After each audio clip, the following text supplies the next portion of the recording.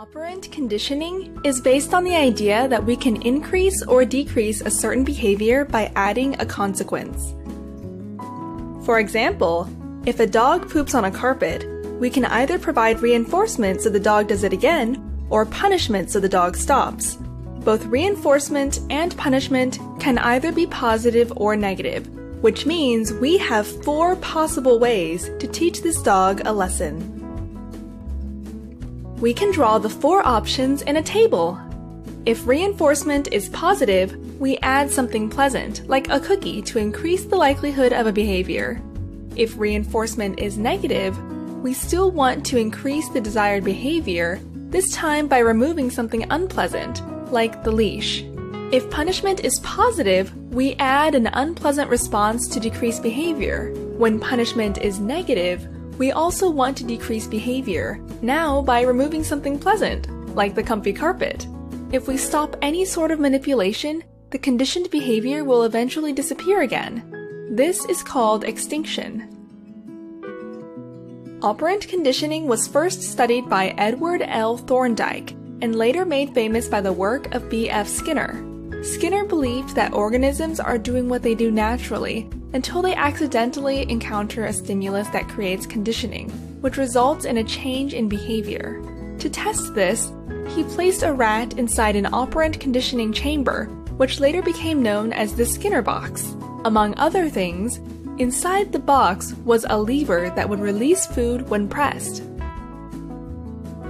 Conditioning happens in a three term contingency, today known as the ABCs of behavior. A stands for antecedent. The rat accidentally hits the lever that triggers the release of food. B stands for behavior and refers to the response. The rat keeps pressing the lever. C stands for consequence. Food keeps coming out. The strength of the response to the conditioning depends on the schedule of reinforcement. If there is always food after pressing, the rat behaves predictably. If the food is released randomly, the rat behaves erratically like an addict.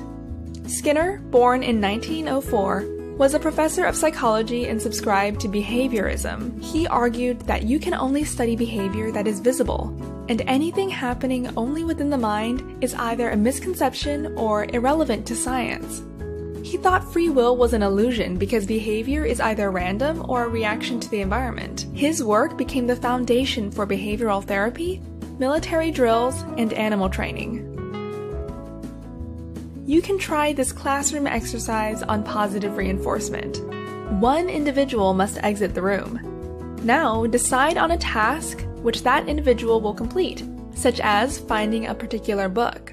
Then choose a nonverbal way of reinforcing that task, such as clapping your hands. Invite the person to come back into the room and let them try and complete the task, but don't give any instructions. Every time they are on the right track in regards to completing the task, clap your hands louder. If they move away from performing the task, reduce your applause or stop it entirely.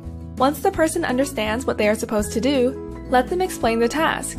Did they get it right?